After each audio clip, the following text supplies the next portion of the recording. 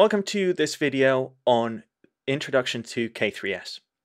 What we'll cover is an overview of what K3S is, the three significant differences in which the K3S distribution differs from K8s or Kubernetes, and then look at some uh, things that K3S is and crucially try and correct some misconceptions of what it isn't.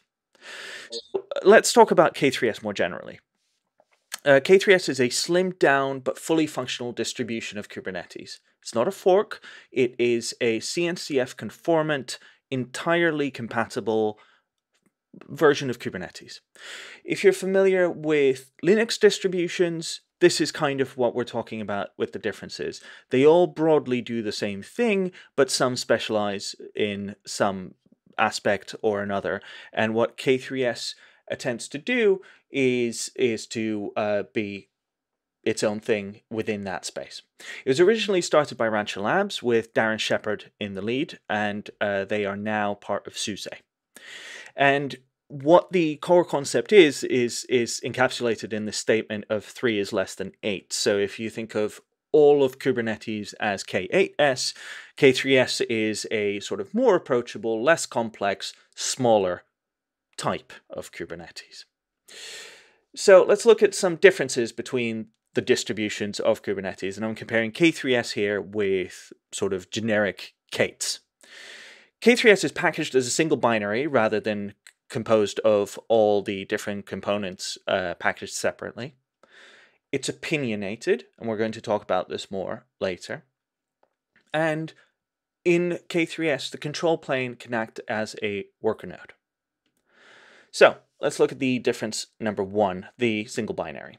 It's under 100 megabytes, but it contains everything you need to run a node as either a control plane node or as a worker node, or as I will explain in a minute, the special thing that uh, K3S does, which is it allows you to run a single node cluster, even though it's not a cluster.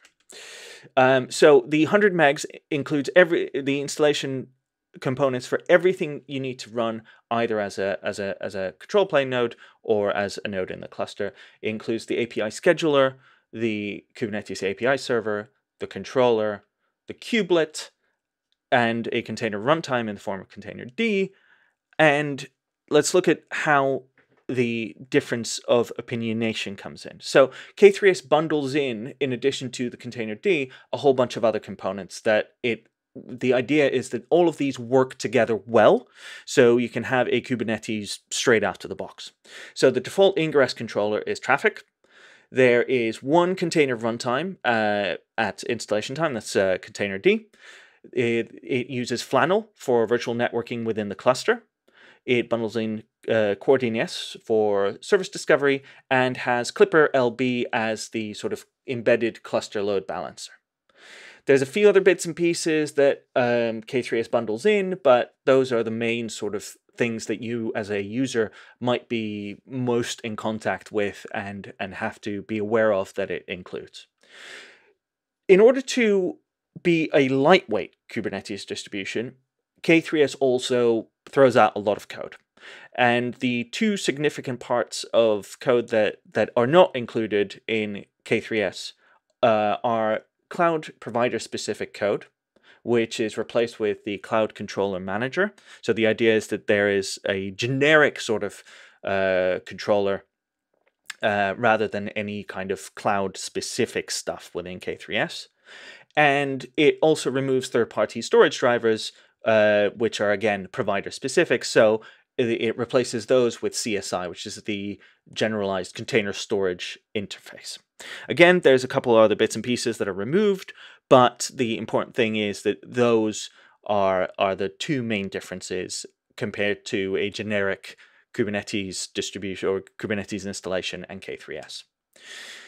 Let's look at the third difference, the single node. So the single binary uh, construction means that you can run by running the K3S uh, command, you can stand up a single node. Then that node is a control plane node, but it can also perform work.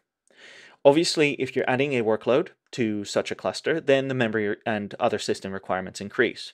So even though you can technically run K3S on a device that only has about 512 megabytes of RAM, that's really designed only around the control plane functions.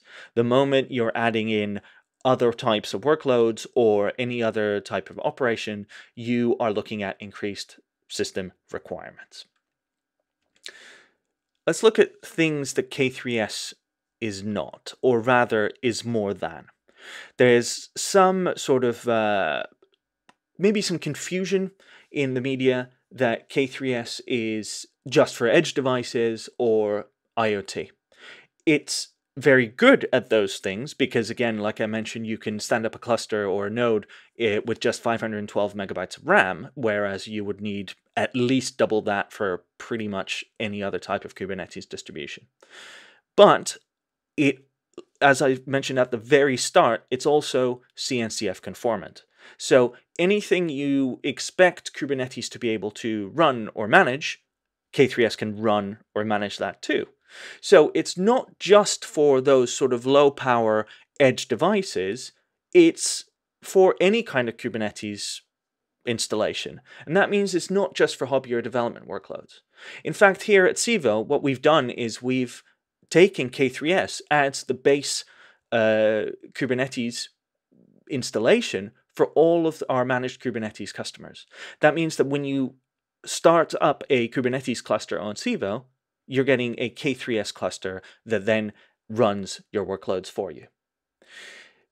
There is an important note to make though, is that K3S is not highly available straight out of the box.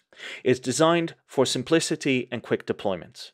So, for example, at Civo, we can launch a cluster for you in under two minutes. But if you really want to make it highly available, you might need to look at customizing some of the options and configuring it. So you need to look into some of the documentation around uh, making your deployments in K3S be uh, highly available.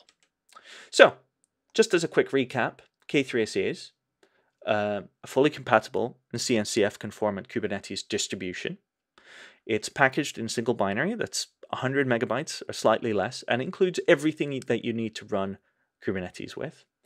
It's opinionated in that it includes specific things that are known to work well together and throws away some other things that you don't need for that configuration.